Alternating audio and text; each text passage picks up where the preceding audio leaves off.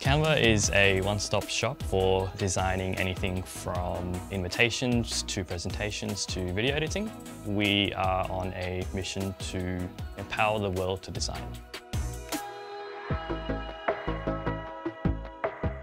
Canva views data as ability to really understand how we can develop our product better. The more data you have, the more you need uh, to be able to compute. Snowflake um, has been really helpful for us to really understand our data because Snowflake scales as we scale. It's at the heart of uh, our data analytics platform. Almost two-thirds of the company accesses Snowflake in some shape or form.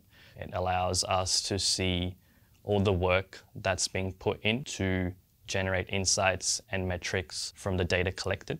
One of the things that we found that was quite powerful with Snowflake is the handling of the semi-structured data. One of like the key aspects would be like us being able to really understand how our customers have been um, interacting with uh, Canva as well, and that's through something like surveys.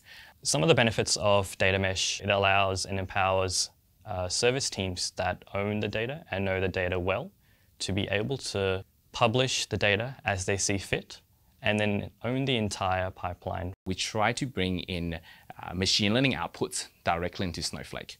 And in order for us to do that in a much more smooth and a, a best way possible is using Snowpipe. Snowpipe allows us to really bring in those outputs into Snowflake, which really empowers our analysts to use those data to create insights, to understand our customers, to ask the question of, you know, will something happen? In order for us to continue to scale, we need to scale both compute and storage. They're never decoupled.